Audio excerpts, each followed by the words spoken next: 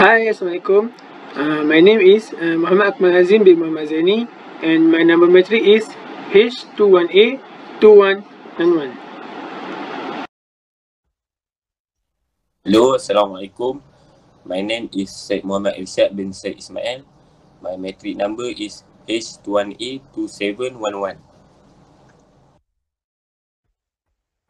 Hi everyone, my name is Muhammad Iman Irfan bin Kamisan and my metric number is H21A2231.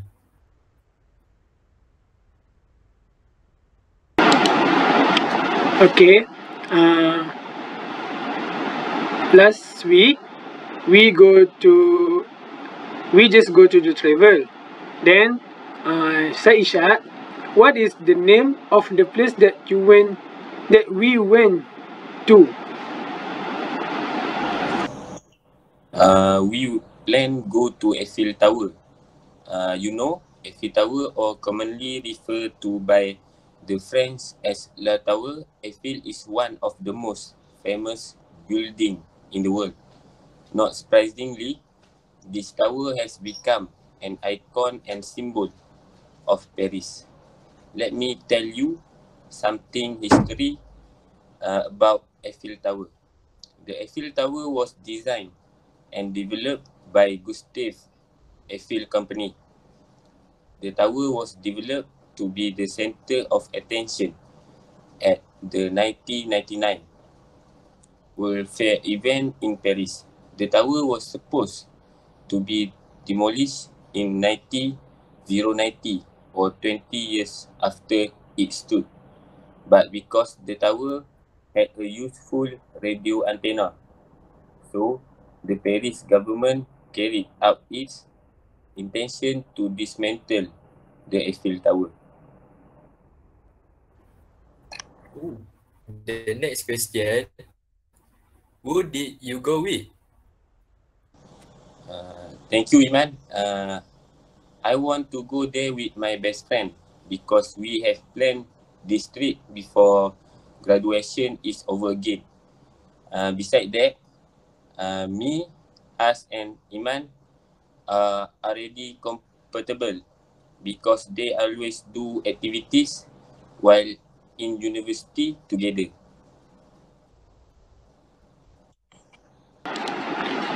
Uh, okay, Shad, I have a last question for you. Uh, then, when did you go and how long did you stay there? Uh, my friends and I want to go there on the end of the year holiday because I felt that time was perfect for uh, some vacation. Uh, we also plan to stay at Paris for a week.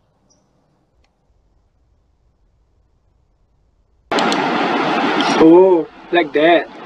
So, for now, I want to ask the Iman, uh, what did that we visit there? I will visit Paris because one of the most beautiful cities in the world. It is known worldwide for Eiffel Tower. The uh, most people visit the Eiffel Tower because it is it is a world famous landmark and to get the nice view over Paris. Other than that, it has a reputation of being a romantic and cultural city.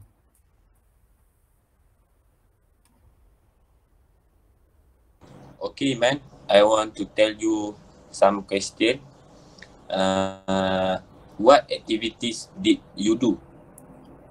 Uh, we can book a Paris pass that include include a guide elevator tour of the Eiffel Tower, such as Go Explore Pass. We can book dinner at Jules Verne's, which give our private elevator access to the second floor of the Eiffel Tower. Oh, I see. Uh, next question. What food did you eat?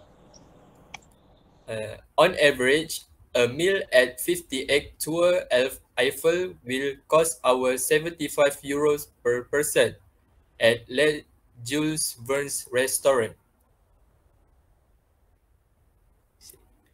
Now, I want to ask the question at has what the was the best part of the trip? Oh, thank you, Iman, for the uh, for the best question. Uh, the best part of this trip is you can climb up the Eiffel Tower for a breathtaking panoramic view of Paris. Uh, and then uh, we also will climb to the second level of this iconic site uh, with our enthusiastic English speaking guide. From there, we can walk on the suspend glass, glass floor, uh, 188 feet above the city below before continuing to the second uh, level with its incredible views.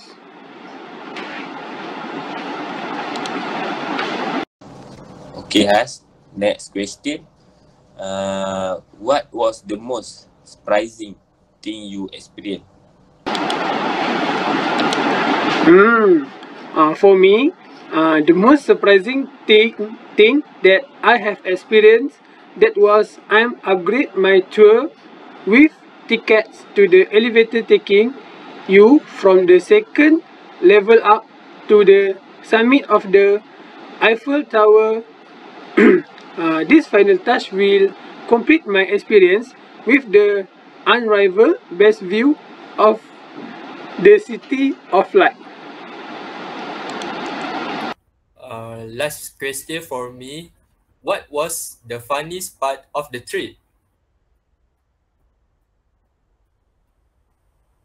Uh, the funniest part of this trip that I just bought the Eiffel Tower French Paris shirt as my travel gift.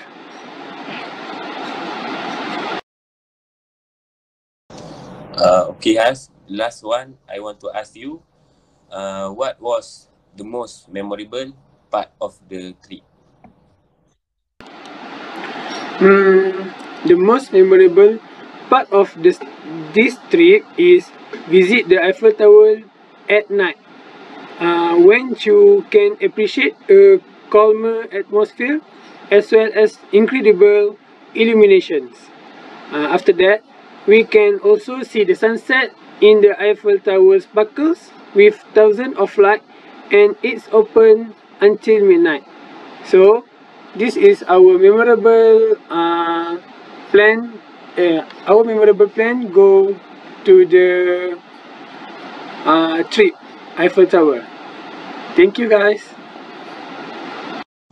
Thank you, guys. See you again. Thank you, everyone.